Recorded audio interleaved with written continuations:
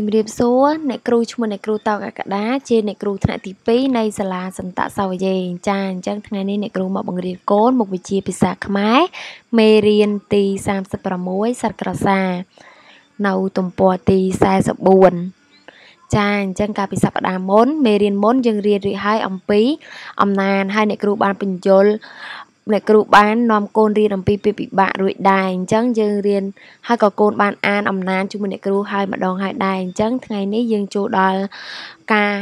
រៀនអំណានដូចគ្នាអ្នកគ្រូនឹងនាំកូនអានអំណាននឹងសាជាថ្មីជាមួយអ្នកគ្រូម្ដងទៀតមានសត្វក្រសាមួយ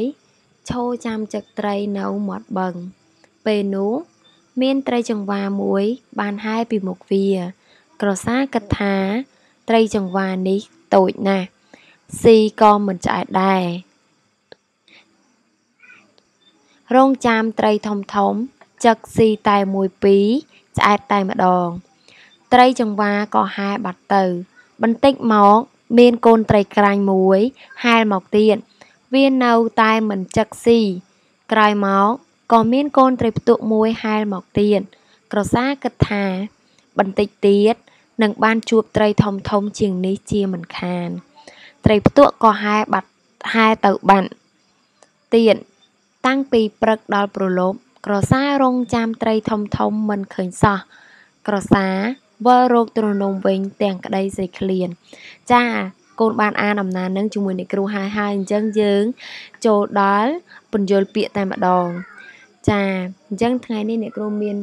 ពន្យល់ពាក្យមកបង្រៀនកូន គឺពាក្យចឹកកូនដឹងអត់ថាចឹកមានន័យថាម៉េច ចាចឹកមានន័យថាខាំដោយចម្ពុះចាអញ្ចឹងសัตว์ចំពោះសត្វស្លាបវាអត់មានមាត់ទេគឺមានតែចម្ពុះអញ្ចឹងគាត់ត្រូវការប្រើវាសត្វហ្នឹងត្រូវការប្រើចម្ពុះទៅខាំអញ្ចឹងគេហៅថាចឹកចឹកអ្នកគ្រូបញ្ជាក់ម្ដងទៀតចឹកមានន័យថាខាំដោយចម្ពុះ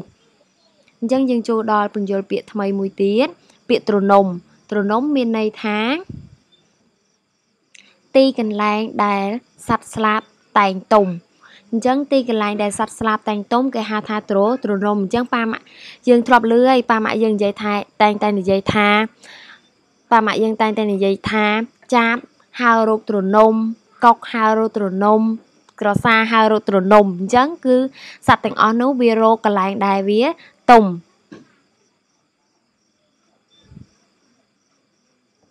អញ្ចឹងយើងរៀនមួយទៀតចំណុចមួយទៀតគឺ ពាក្យនៃដូចនិងពាក្យត្រត្រនំអញ្ចឹងកូនដឹងអត់ថានៃដូចនិងពាក្យត្រនំពាក្យអីគេកូនដឹងអត់ចាឥឡូវកូនអត់ដឹងទេអញ្ចឹងយើងមករៀនជាមួយអ្នកគ្រូទាំងអស់គ្នានៃដូចនឹងពាក្យត្រនំមានពាក្យត្រនំ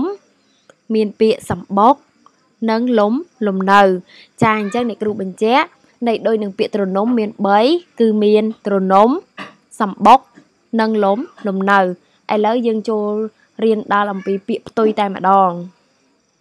ចាអញ្ចឹងផ្ទុយនឹងពាក្យធំកូនដឹងអត់ផ្ទុយនឹងពាក្យធំអីគេចាផ្ទុយនឹងពាក្យធំគឺគឺតូចចុះផ្ទុយនឹងពាក្យឃ្លាន គឺពាក្យអីគេគឺពាក្យ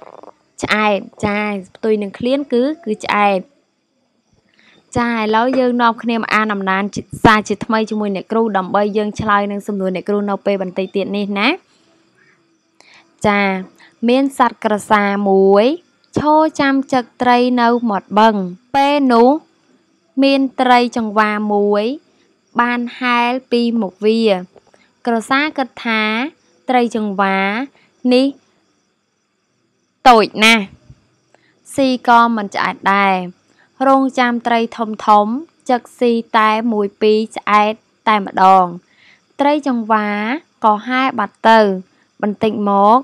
មានកូនត្រីក្រាញ់មួយហែលមកទៀតវានៅតែមិនចឹកស៊ីក្រោយមកក៏មានកូនត្រីផ្ទក់មួយហែលមកទៀតក្រសាគិតថាបន្តិចទៀតនឹងបានជួបត្រីធំធំជាងនេះជាមិនខាន ត្រីផ្ទក់ក៏ហែលទៅបាត់ទៀតតាំងពីព្រឹកដល់ព្រលប់ក្រសារងចាំត្រីធំធំមិនឃើញសោះក្រសាវរកទ្រនំវិញ ទាំងក្តីស្រេកឃ្លាន ចាឥឡូវយើងបានអានអំណានជាមួយអ្នកគ្រូហើយយើងនាំគ្នាមកឆ្លើយនឹងសំណួរអ្នកគ្រូទាំងអស់គ្នាសំណួរទី1តើសត្វក្រសារងចាំចឹកត្រីនៅឯឯណាចាអញ្ចឹងក្រសារងចាំចឹកត្រីនៅឯមាត់មាត់បឹងសំណួរទី2តើសត្វក្រសាឃើញត្រីអ្វីមុនគេ ចាអញ្ចឹងក្រសាបានឃើញត្រីឯគេមុនគេ ចា ក្រសាឃើញត្រីចង្វាមុនដំបូងគេសំណួរទី3តើសត្វក្រសាឃើញត្រីអ្វីខ្លះហែពីមុខខ្លួនអញ្ចឹងគាត់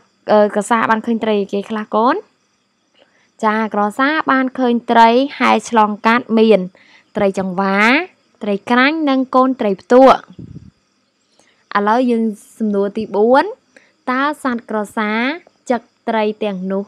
ស៊ីដែរឬទេព្រោះអ្វីចាអញ្ចឹងក្រសាយ៉ាងម៉េចដែរក្រសាមិនបានចាប់ត្រីទាំងនោះស៊ីទេ ពីព្រោះវាគិតថាត្រីទាំងនោះតូចតូចហើយវារងចាំចឹកត្រីធំស៊ីជាចំណីតែម្ដងចាឥឡូវមេរៀនអ្នកគ្រូបានបញ្ចប់ហើយហើយសំណួរដែលអ្នកគ្រូ